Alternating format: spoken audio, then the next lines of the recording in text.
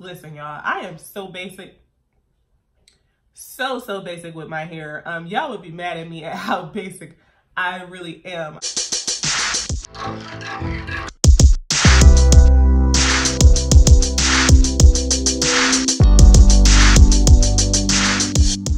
Hey guys, it's Randi. Welcome back to my channel. So, um, from the title of the video, you guys probably already know what we're going to be talking about. Well, what I'm going to be talking about today. Um, it's like the number one question people ask me across all my social medias. Well, probably the number two. um, the number one question, God, people ask me all the time. Um, we're just going to get it out right now. I'm just going to let you guys know. Is people always ask me, am I mixed? Um, are both of my parents black? Both of my parents are black. so, um, yeah, that's that. Just gonna go ahead and get that out of the way because I don't know why people always ask me that. Um, when they see my hair, they just like to ask me that question. So I'm gonna let you guys know. Both of my parents are black. But anyway, so you guys always ask me, how do I retain length um, with my natural hair? So um, I figure why not just film it and let you guys know what works for me, what works for my hair. Um, if you guys do not know, I did just go, obviously, get my hair straightened. I do a yearly length check every April. I did vlog that experience. I'll go ahead and link it in the description box so you guys can see and um, meet my stylist. The lady, this lady actually did my big chop and I've been going to her once a year, every year since then. I think it's been about five or six years to trim my ends really, really good and do my blowout. So if you guys didn't watch that vlog, you guys can see how long my hair is now. I did just um, tap waist length this year. So just want to let you guys know how I retain my length. First things first, I always detangle my hair on soaking wet hair with a conditioner product that has really, really good slip.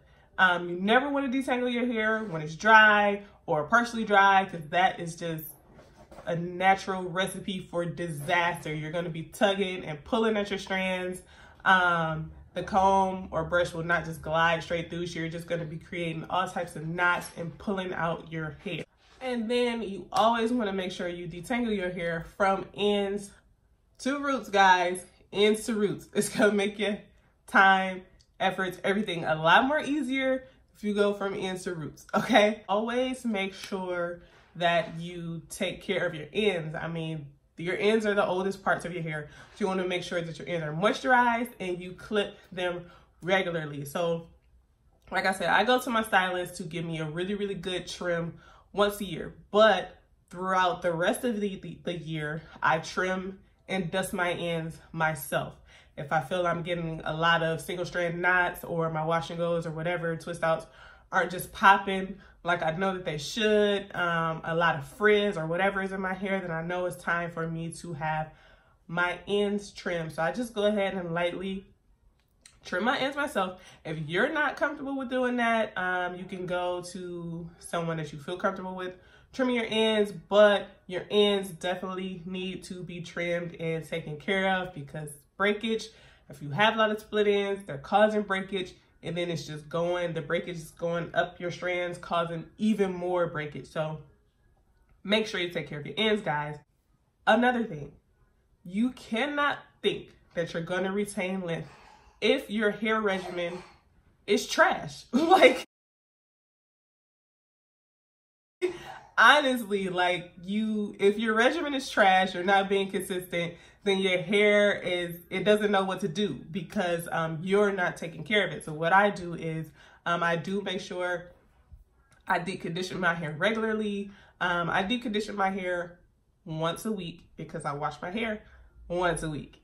Um, deep conditioning, retaining moisture in your hair, which ties me into the next point retain moisture in your hair. If your hair is dry, it's brittle, it's breaking off, um, you can retain moisture in your hair without over manipulating your hair. So when I say over manipulating, I mean like uh, doing a bunch of different styles, twisting your hair up every night, detangling it every day, just having your hands constantly in your hair causes breakage as well. So you can keep your hair moisturized without over manipulating your hair. Like styles that last long, like wash and goes. Um, you can have five or six day wash and goes. Guys, they do exist. Um, twist outs also can help with not over manipulating your hair. Um, any styles that you know that work for your hair that you won't be constantly having your hands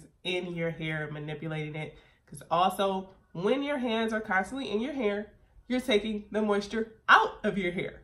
Another thing that I do is um, I clarify my hair. Clarify means um, I do go in with a clarifying shampoo. I want to say like once or twice a month, depending on how I feel my buildup is in my hair. This is what works for me, guys.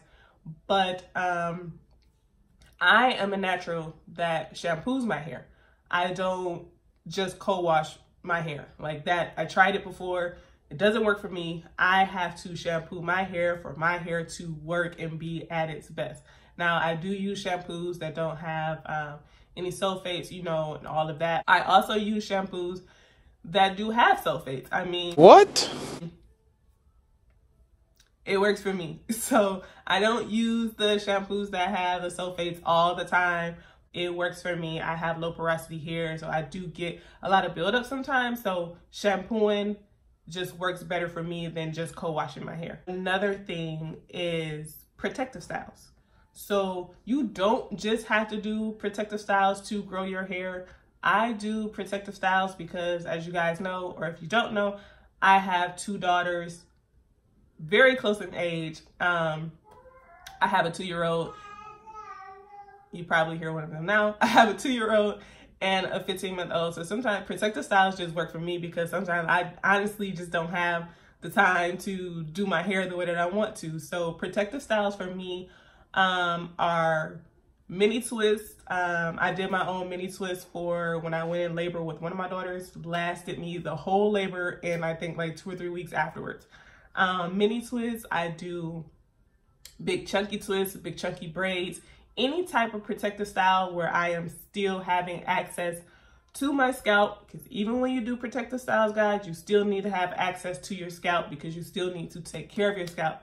You still need to cleanse your scalp. You still need to oil scalp or you know whatever. I have dry flaky scalp itchy. It's just terrible. My hair has always been like that but i have um figured out ways to take care of my scalp. So any protective style that you're doing, you always want to make sure that you still have access to your scalp to take care of your hair. But you don't just have to use protective styles. You can grow your hair and retain length with doing twist outs and wash and goes.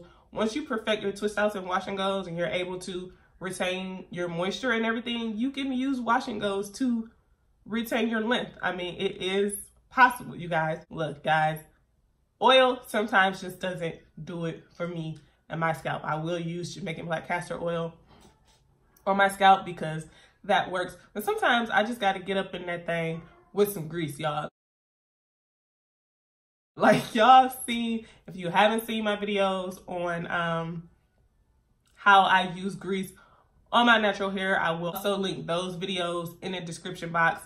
Um, I'm a natural that use grease. Grease works for me. Um, I if it ain't broke, don't fix it. I love me some grease, y'all. So if you're not a natural that uses grease, um, anything, any oil or whatever you do use to take care of your scalp, definitely still take care of your scalp when you're wearing your protective styles.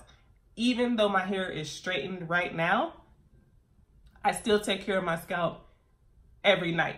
Um, now, since I don't really want the heaviness of the grease, I am using an oil and my scalp is still doing fine.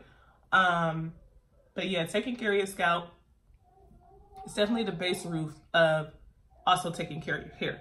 And then another thing, you can't honestly believe that if you're not sleeping on a satin or silk pillowcase, using a bonnet or something like that, um, sleeping on cotton pillowcases It's doing nothing but taking the moisture out of your hair and it's also causing breakage and damage to your hair.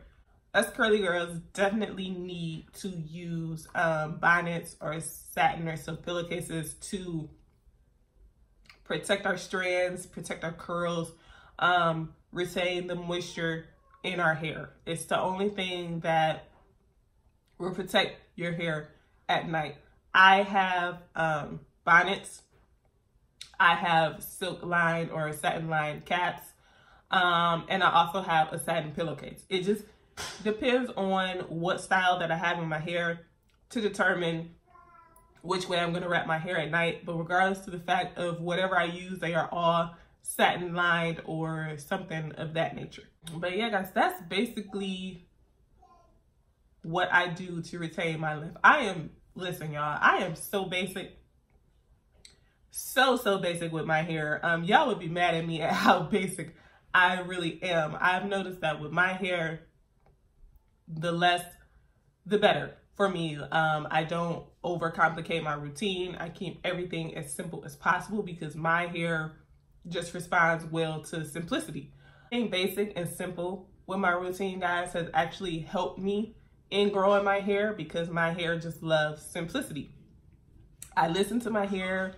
Um, I pay attention to what it likes, what it doesn't like, um, what it responds well to, products, everything, um, conditioners, all those types of things. And the best thing that you can do is listen to your hair. I do try new things, and if it works, it works. If it doesn't, it doesn't.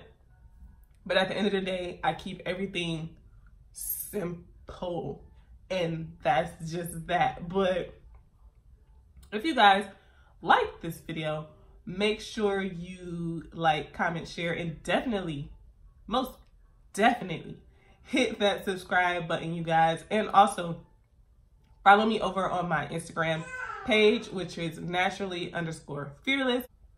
I do post on there a lot, so make sure you guys go over there and follow me. Become a part of the fan bam, y'all. Um, we it's all love over here. We have fun. So like, comment, share, subscribe, and see you later, guys.